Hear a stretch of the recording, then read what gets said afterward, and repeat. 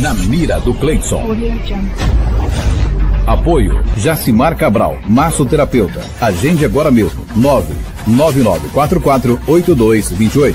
Família Pizzaria. Sabor irresistível. Bordas recheadas. Tradicional e vulcão. Delivery 992430531. Tomate. Locação e prestação de serviços. Locação de andames e bitorneiras. Fone 99645 1599. Primos Cabeleireiros, JB Service, soluções em balanças, vendas e conserto de balanças. Ike Fome, os mais deliciosos lanches e açaí da cidade. Na 28 de outubro, de frente à Caixa Econômica. Telefone. Manhã desta quarta-feira, nós estamos aqui no Centro Convite e quero mostrar para vocês, ó, está, como fiz ontem uma live ao vivo, aqui está, aqui hoje não atende mais ninguém, e mais interessante é que vai chegando gente e que o atendimento do Centro Convite vai estar em todos os postos. Ontem, a repercussão que a gente fez da live é que muita gente não gostou da situação porque da aglomeração.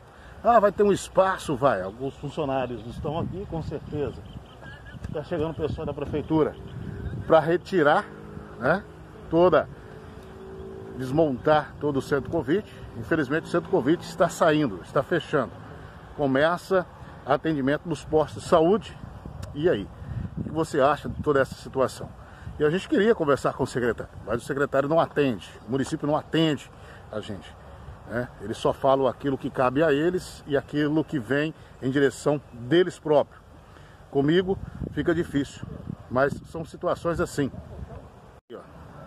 Mais uma vez a gente falando, né? tá fechando, a gente vai mostrando para vocês. Umas pessoas chegaram aqui e depararam com esta, esses dizeres aqui no portão, né? A partir do dia 28, o atendimento serão realizados em suas receptivas unidades de saúde, básicas de saúde, nos postos de saúde. Então tá aí. A população vem em busca de onde sabia um ano aqui. Por que que fechou? Por que mandar para os postos de saúde? Grande pergunta. É, deixa os caras trabalhar. Tem muita gente que fala isso pra mim. Por que, que você não sai candidato? Eu não quero ser candidato a vereador. Senão eu já tinha saído há muitos anos. Eu não quero ser candidato a prefeito. Porque minha profissão é ser jornalista e repórter. Isso é minha profissão. Independente do que você fala, o que você deixa de falar, as pessoas que puxam o saco, independente do que você fala, eu vou continuar fazendo isso, mostrando a realidade. Isso aqui é um absurdo.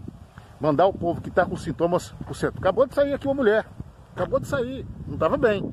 Vai pro posto. Chega lá no posto, não sabe para onde vai. E vai circular no meio daquelas pessoas que estão lá no posto. E aí? Não transmite? Pelo amor de Deus, secretário. Pasmem. E eu quero fazer uma pergunta para a gente encerrar a situação aqui que está fechando o centro Covid. As enfermeiras que trabalham aqui, vamos valorizar, vamos apoiar as enfermeiras do centro de saúde, porque elas estão trabalhando? Claro que estão. Parabéns à equipe do centro de Covid. Teve críticas, mas teve elogios. Vão ser todas mandadas embora. Não pode ser remanejada para outros postos. Porra, prefeito. Convenhamos. O senhor inchou a folha. O senhor inchou a folha. E aí o senhor está descontando no centro de Covid. O senhor está fechando o centro Covid. E o dinheiro que vem para o centro Covid vai para onde? O recurso do governo federal que vem para o centro Covid vai para onde? No Brasil, ontem à noite eu fiquei pesquisando. No Brasil, a única cidade que fecha o centro Covid e manda para os postos é Mirassol do Oeste. E aí você concorda com isso? E ainda vocês vêm dizer que está correta essa situação? É brincadeira. Vamos dar uma passadinha num posto e ver como é que está a situação. Eu vou num só e vou mostrar o movimento que está. Falei para vocês, estamos aqui no centro de saúde. Como está frio, tem bastante gente lá dentro. Uma pessoa que estava lá está aqui. Eu acho que é com sintomas de Covid, que estava lá no Covid, está aqui. E a gente conversou com algumas pessoas aqui. Aqui não tem espaço para separar o pessoal do Covid ou com outras determinações. Aqui não tem espaço para isso. O banheiro, fiquei sabendo, o banheiro é o mesmo. Quem está com Covid ou quem tá, não está com Covid vai usar o mesmo banheiro. E nos outros PSF são a mesma coisa. Já estou sabendo que tem um vereador que não concorda com essa situação não concorda. Porque os PSFs não tem como fazer essa separação, uma ala específica para Covid. Nós estamos à beira do caos da saúde, com esse secretário e com o nosso prefeito, que é enfermeiro e pediu para a população votar nele porque ele ia ter uma saúde de qualidade. Aonde a gente está chegando, gente? Bem, pessoal, estamos aqui em frente à Secretaria de Saúde. Mais uma vez viemos procurar o secretário, não atendeu, disse que vai passar uma nota, li a nota. A nota ele fala, por motivos da volta às aulas, tem que entregar o prédio, alguns é, funcionários é, da educação e tal, e que foi aprovado pelo Conselho Municipal de Saúde, que o presidente é o pastor Pedro Lima. Vou até na casa do pastor Pedro Lima e saber se ele sabe da dificuldade dos postos de saúde. Como eu disse, conversei com os vereadores, ele acredita também que foi um tiro no pé essa mudança e o fechamento do centro Covid. Porque no centro, nos postos de saúde existe um, um banheiro. E se uma pessoa que tiver infectada com Covid utilizar o banheiro e você entrar, você corre um risco de quase 100% de também ser infectado. E nós temos uma variante Delta que está chegando aqui. E essa variante é letal. Por que fechar o centro Covid? Bem, pessoal, nós viemos aqui pedir uma ajuda, porque eu quero mostrar para vocês que quando a gente faz as coisas, principalmente matéria, a gente é bem leal naquilo que vamos fazer. Nós vamos ligar agora para o presidente do conselho, tá? O presidente do conselho que foi a favor aí de fechar ali o centro de Covid-19. Veja bem, pastor Pedro Lima é o presidente, vou colocar no Viva Voz aqui, vamos saber o que realmente está acontecendo. Bom, ó,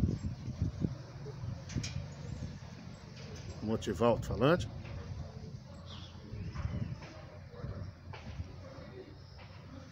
Sujeito à cobrança pode o sinal. Então ele não está atendendo. Então o que, que a gente vai fazer? Vamos terminar até o fechamento dessa matéria que estão fechando agora. A gente conversou com o vereador. O vereador não concorda porque todas as UBS existe um banheiro.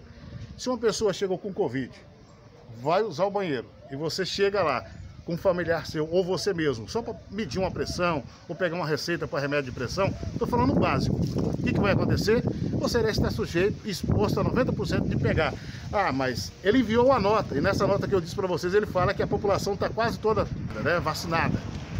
Mas espera aí, está vacinada, mas a gente conhece que eh, tivemos casos de morte com duas vacinas, com uma vacina, e nós temos a variante Delta, que matou 24 pessoas. O que, que vocês acham? Ah, porque o pessoal da saúde não está tendo gente para trabalhar, porque o pessoal da educação vai voltar. Pega o pessoal que ele já contratou e coloca para trabalhar lá no centro de Covid.